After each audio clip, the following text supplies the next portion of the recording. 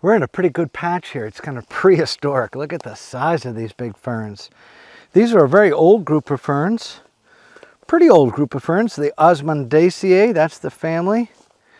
And this one, here's one of the easier ways to recognize it because, so this is a frond, like the leaf of a fern, and this has a separate one that's just a modified frond.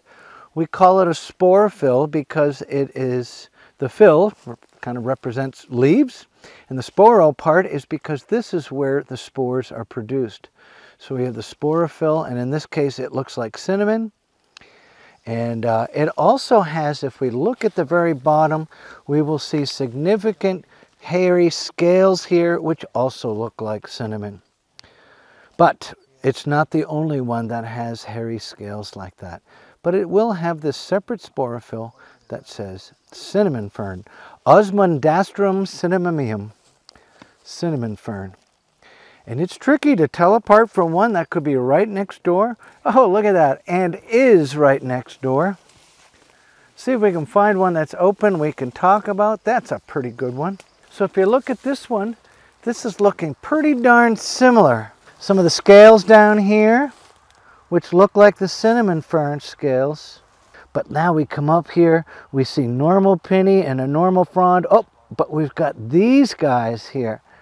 And this is where, these are where the spores are produced on this fern.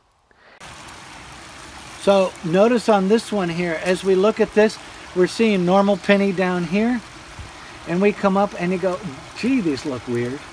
But you can see it was hairy, and it is hairy. What we're seeing here is, notice this one has the typical pinnae underneath here. We get to these that seem to be a little strange and don't seem to be doing the thing. And then when we go beyond, we see that they're going to form normal pinnae later on. And thus, these pinnae have been interrupted by these, right? This is interrupted fern. Spores are being produced here on these uh, modified pinnae that have been modified to produce spores. So this is interrupted. This is Osmunda claytoniana, named after Clayton, a botanist of the 19th century. As we continue up the, the uh, frond, we get back to normal pinnae. So we have normal pinnae, the spore producing pinnae, and then normal pinnae again. So this one has a common name of interrupted fern. But this is Osmunda claytoniana, interrupted fern. And we see that several of these are interrupted. But if you were to see a fern kind of like the one next door, it, you know, these, it's quite a challenge to tell which species it is because we know they're right next door to each other. Once you get good at it, you can look at the tips here and see that one has a very rounded tip and the other one's a little more of a pointed tip on the uh, on each of these little pinnules here. But here we see the nice kind of basket, circular basket nature of this young guy. So Osmunda uh, claytoniana, the interrupted fern, and Osmundastrum cinnamomum, and that's the cinnamon fern. And in just a little bit, we're going to take a look at, uh, uh, oh, you know what? I bet we could find some right handy over here. Let's go see if we can find some royal fern. Oh, nice find that we have here of our, uh, one of our third Osmundaceae here, Osmunda regalis, royal fern. Well, first of all, we look here, we see that it's really quite different from the interrupted fern and the cinnamon fern. These pinnae look really quite different. And then you see at the top of one of these pinnae is our sporophyll. So it's coming off and it's connected to one of the other ones. So it's not interrupted and it's not totally separate.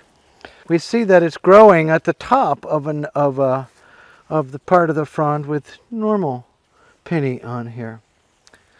And the whole thing, this whole royal fern, can make a pretty good crown here. I don't know if this is why it's called that. I mean, it, this is typically grows in a bit of a circular basket.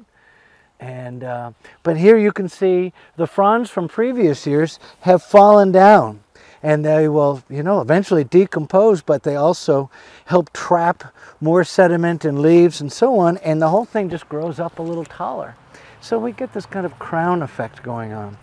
So royal fern. Another word for royal is regal. So Osmunda regalis is our royal fern here, the third of our Osmundaceae. Pretty neat. And so you can find these right next to cinnamon fern. As a matter of fact, we just turned to our side here and uh, we see our cinnamon fern. Look at how nice and tall and that's another, just a beautiful fern here and we see our sporophyll in the middle. So uh, the, uh, the royal fern can grow right in a beaver pond and we see some out there that are kind of like in islands.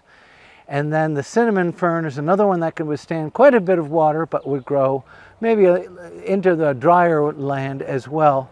And then the interrupted fern you can find out in the woods anywhere that's just a little bit damp, a mesic woods.